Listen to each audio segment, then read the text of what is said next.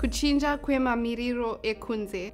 기후 변화, Cambio climático. تغير المناخ The concept is universal and intimidating, but we can help make fighting climate change less scary if we follow these steps. 1. Read up. Inform yourself about what's going on in the world. It's hard to help if you don't understand what the problem is. 2. Start change within you. Little changes done right can have a big impact.